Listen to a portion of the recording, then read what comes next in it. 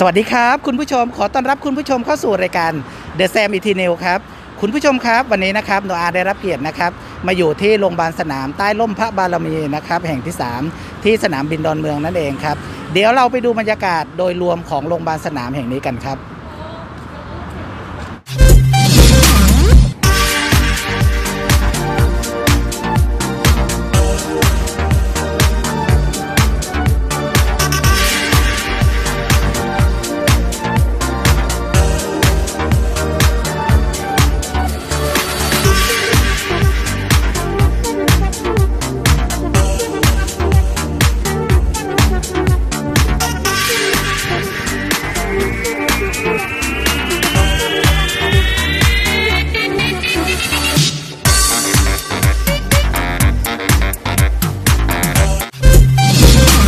ครับคุณผู้ชมครับต้องบอกว่าโนอาได้รับเกียรตินะครับ มาอยู่ที่โรงพยาบาลสนามใต้ร่มพระบารมีแห่งที่3ครับมาอยู่กับคุณพานุพันธ์นะครับ เจ้าหน้าที่จิตอาสาที่คอยดูแลประสานงานในส่วนของโรงพยาบาลตรงนี้นะครับเดี๋ยวเราไปทำความรู้จักกับพี่พานุพันธ์กันเลย สวัสดีครับ สวัสดีครับ ต้องถามเพิ่มเติมนิดนึงหลังจากที่มีการอ่าเตรียมในการสถานที่ตรงนี้แล้วนะครับ ความคืบหน้าวันนี้เป็นบิ๊กคลีนนิ่งเป็นยังไงบ้างครับอ่าวันนี้เราได้นัดระดมจิตอาสาครับเพื่อที่จะมาทำบิ๊กค e น n ิ n งเดย์ครับ เรานัดไว้วันที่ 7 และอืม8นะครับ จะทำความสะอาด แล้วก็ประกอบเตียงส่วนที่เหลือ ซึ่งตอนนี้เตียงเราประกอบเสร็จแล้วประมาณ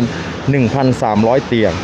เหลืออีกประมาณ 500 เตียงครับก็จะประกอบเพื่อให้ครบ 1,800ครับตามที่ตั้งเป้าไว้ครับนะครับ ตอนนี้ความขึ้นหน้านี่ 90%ละรอประกอบเตียงครับปูเตียงครับแล้วก็รอระบบห้องน้ำเสร็จนะครับ ก็จะ รอเปิดวันที่ 12 สิงหาคมครับที่จะถึงนี้ครับเพื่อถวายแด่สมเด็จพระนางเจ้าสิริกิติ์พระบรมราชินีนาถพระราชชนนีพันปีหลวงครับ ซึ่งวันนี้จิตอาสามาช่วยกันเป็นจำนวนมากครับเลยนะครับ เป็นที่น่าชื่นใจว่าตามที่เราตั้งเป้าไว้คงสำเร็จ อีกประการหนึ่งปัญหาอุปสรรคก็คือเรื่องของหลังคาอืมนะครับ ซึ่งบางจุดยังรั่วอยู่ครับ แต่ก็นั่นแหละครับด้วยพลังของประชาชนนะครับ พอทราบข่าวก็มีจิตอาสาทั้งห้างหุ้นส่วนจำกัดต่างอืมๆรวมถึงได้รับกำลังสำหลักกำลังหลักสำคัญเลยนะครับ จากการไฟฟ้าฝ่ายผลิตอืมส่งช่างที่มีฝีมือครับ50 นาย เดินขึ้นซ่อมหลังคา ซึ่งตั้งเป้าไว้ว่าน่าจะเสร็จพรุ่งนี้เย็น ก็เป็นอันที่เรียบร้อยปัญหานี้ก็จะหมดไปครับครับ แล้วก็เอ่อแล้วเจออุปสรรคอะไรไหมนอกจากเรื่องไฟแล้วครับตรงนี้อ่าอุปสรรคณตอนนี้ก็คือว่าที่เหลืออยู่ก็เพียงแค่เรื่องของฟ้าฝนครับเรื่องของหลังคานั่นแหละครับครับซึ่งตอนนี้ดำเนินการซ่อมอยู่ และกำลังจะดูว่าถ้าฝนตกหนักครับเย็นเนี้ยหรือพรุ่งนี้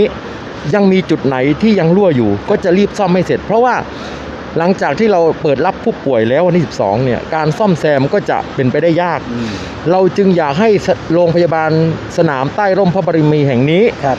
พร้อมร้อยเปอร์เซ็นถึงที่สุดครับเพื่อที่จะเตรียมรับผู้ป่วยครับในการเข้ามาทำการรักษาครับครับเอ่อคำถามสุดท้ายอยากฝากให้กำลังใจนะครับบุคลากรทางการแพทย์อีกครั้งหนึ่งสำหรับที่เป็นหน้าด่านเป็นนักรบชุดขาวสำหรับช่วยเหลือผู้ป่วยที่ติดโควิดตรงนี้ครับอ่า บุคลากรทางการแพทย์ตอนนี้ทำงานหนักมากครับโดยเฉพาะวันนี้นี่มีผู้ป่วยเพิ่มขึ้นเป็นนิวไฮเลย 21,000 กว่าคนครับแต่ก็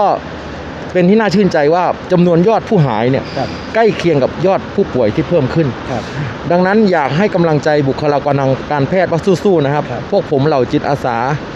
เต็มกำลังความสามารถที่จะช่วยบรรเทาภาระบุคลากรทางการแพทย์ครับตอนนี้มีจิตอาสาจำนวนมากอื มมาลงชื่อเพื่อที่จะสมัครเป็นจิตอาสาประจำโรงพยาบาลสนาม ร่วมกับคุณหมอเหรียญทอง ครับ ซึ่งตรงนี้เป็นที่น่าชื่นใจ เพราะฉะนั้นอยากให้บุคลากรทางการแพทย์สบายใจได้ว่าในช่วงวิกฤตแห่งนี้ มีประชาชนจิตอาสาที่สนใจจำนวนมากที่จะเข้ามาช่วย